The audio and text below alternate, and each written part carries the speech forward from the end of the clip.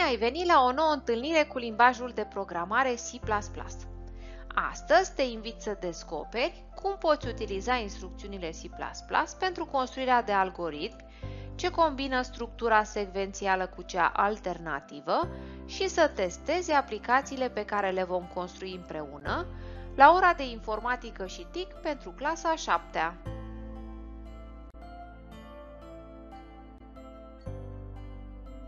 În unele probleme se simte nevoia execuției unor operații de decizie, cum ar fi, de exemplu, pentru determinarea perimetrului unui triunghi, pentru care se citesc de la tastatură valorile lungimilor laturilor sale.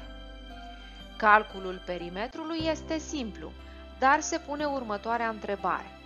Întotdeauna trei numere reale pot fi lungimile laturilor unui triunghi? În primul rând, ele trebuie să fie strict pozitive, iar fiecare dintre ele să fie ca valoare strict mai mică decât suma valorilor celorlaltor două laturi. Acest lucru nu poate fi evidențiat cu simpla instrucțiune de atribuire. Structura prin intermediul căreia acțiunile sunt implementate alternativ în funcție de valoarea de adevăr a unei condiții se numește structura alternativă sau structura de decizie. În această lecție vom învăța cum pot fi utilizate în rezolvarea de probleme instrucțiunile C++ if și switch.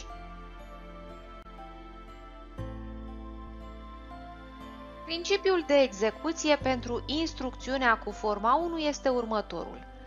Se evaluează expresia logică, dacă rezultatul evaluării este true, adevăr, atunci se execută instrucțiune 1. Altfel, dacă rezultatul este false, fals, atunci se execută instrucțiune 2.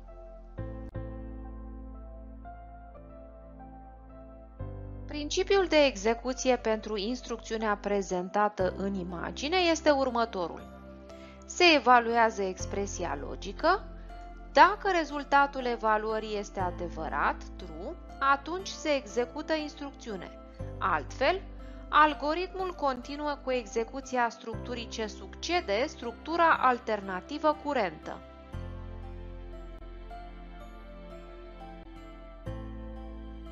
Să ne reamintim cum se reprezintă structura alternativă cu ajutorul limbajului pseudocod pentru forma 1 și pentru forma 2.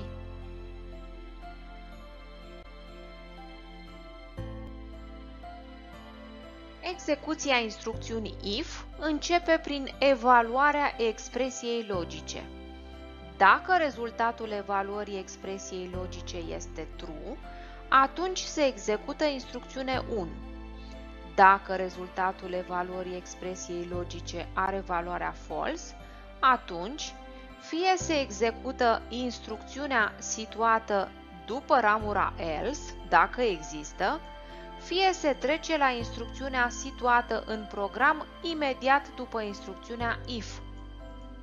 În scrierea programelor se recomandă alinierea mai înspre interior a instrucțiunilor din cadrul structurii, astfel încât instrucțiunile să poată fi urmărite mai ușor, iar întregul algoritm să fie lizibil.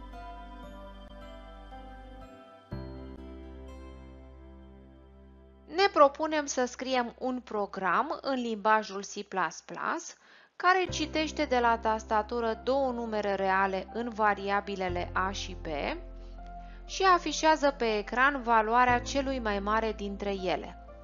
În cadrul funcției principale, în main, se declară cele două variabile reale a și b, vor fi de tip float, și apoi se citesc de la tastatură, cu ajutorul instrucțiunii sin, două valori distincte ce vor fi memorate în variabilele a și b. Vom compara valorile variabilelor a și b folosind structura alternativă if și, dacă valoarea variabilei a este mai mare decât valoarea variabilei b, atunci se afișează pe ecran cu ajutorul comenzii SIAUT valoarea variabilei A, iar în caz contrar se va afișa valoarea variabilei B.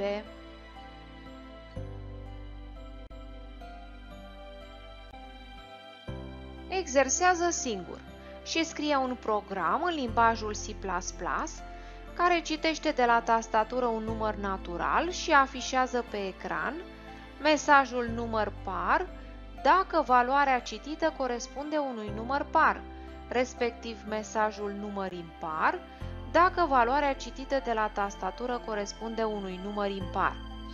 De exemplu, dacă de la tastatură este citită valoarea 12, atunci, în urma execuției programului se va afișa mesajul număr par, iar dacă valoarea citită de la tastatură este 15, atunci, în urma execuției programului se va afișa mesajul număr impar.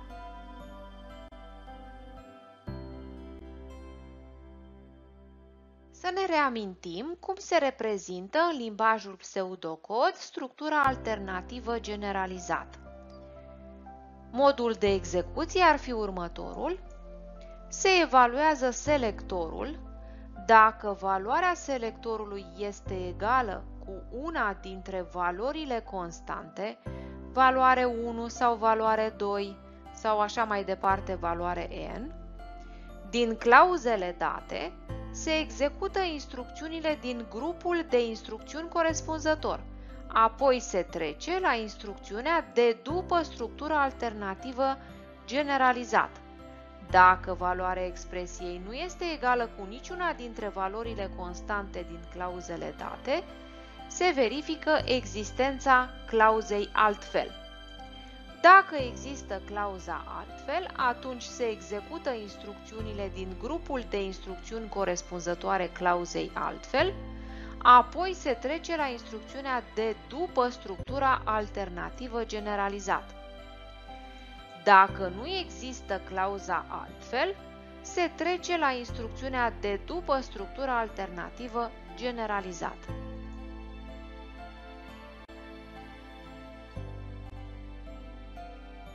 Instrucțiunea switch este asemănătoare cu instrucțiunea if-else, if-else.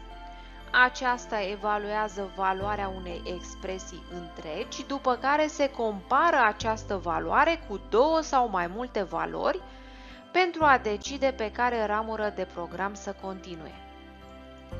Dacă printre variantele case nu există niciuna care să aibă rezultatul egal cu valoarea expresiei, atunci, dacă există clauza default, se execută secvența de instrucțiuni aferentă – iar dacă nu există această clauză, atunci se încheie executarea instrucțiunii switch și se execută în continuare instrucțiunea ce succede în program instrucțiunea switch. Observație, expresia trebuie să fie de tip întreg. Clauza default este opțională.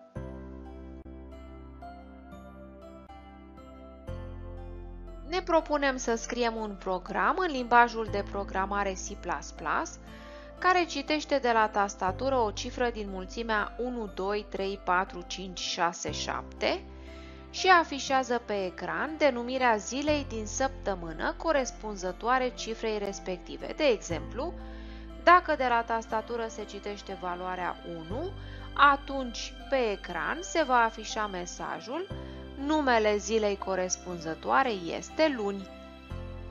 În funcția principală se declară variabila întreagă zi și se citește de la tastatură o valoare în această variabilă cu ajutorul instrucțiunii SIN. Folosind structura alternativă generalizată switch, vom afișa denumirea zilei din săptămână. Astfel, dacă valoarea variabilei zi este 1, atunci se va afișa pe ecran mesajul numele zilei corespunzătoare este luni și se trece la execuția instrucțiunii return 0. Altfel, se verifică dacă valoarea variabilei zi este 2 și, în caz afirmativ, se va afișa pe ecran mesajul numele zilei corespunzătoare este marți și se trece la execuția instrucțiunii return 0. Iar în caz contrar, se vor verifica similar restul valorilor propuse în clauzele case. Dacă niciuna dintre acestea nu este atinsă, atunci se va trece la execuția instrucțiunii din clauza default și se va afișa mesajul imposibil.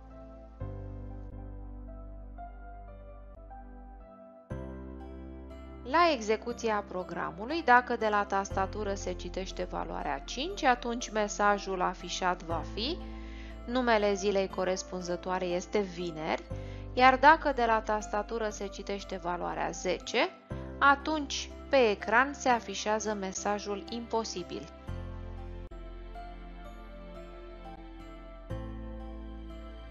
Exersează singur și scrie un program în limbajul de programare C++, care citește de la tastatură un număr natural din mulțimea 1, 2, 3, 4, 5, 6, 7, 8, 9, 10, 11, 12 și afișează pe ecran denumirea lunii din an corespunzătoare valorii citite.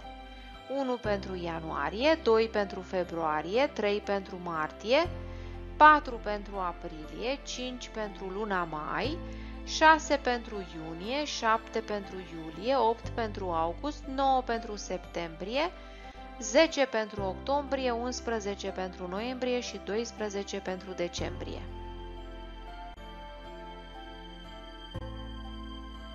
Felicitări! Astăzi ai învățat cum poți utiliza structurile alternative în scrierea programelor în limbajul de programare C++.